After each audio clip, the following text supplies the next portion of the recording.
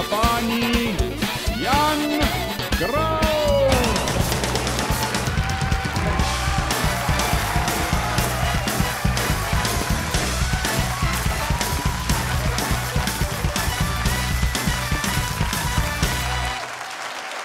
Dobrý večer, děkuji uctivě, děkuji, děkuji, dobrý večer.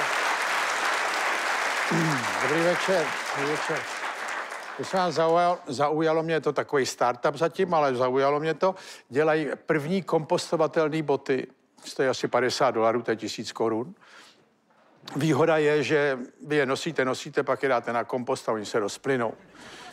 Bohužel tam jako nepopisovali nějak podrobně, kdy začne ten proces, protože mě napadlo, že se to může začít kompostovat ještě, když s tím chodíte.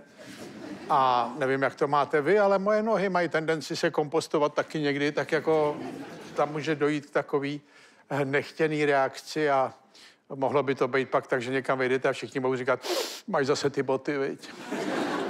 Ale tak to se ještě uvidí. A pak je druhá věc, která mě fascinuje, to jste si určitě všimli, jak letějí ceny ovoce a zeleniny nahoru, protože bylo špatný počasí na jihu a energie, válka na Ukrajině, to všechno. V Británii tam dokonce došlo, tam mají obchody, jak tady v komunismu, tam mají prázdné regály, tam, co bylo ovoce a zelenina, eh, protože jsou na tom ještě hůř než my. Tak jsem si říkal, cibule prej, cibule teď úplně letí, ta není vůbec. To jsou furt keci, do čeho máte investovat, zlato, krypto, hele, tohle. Cibule, mrkev, hele, Petr, že jediný, čeho je tuřín, do toho prachy nedávej.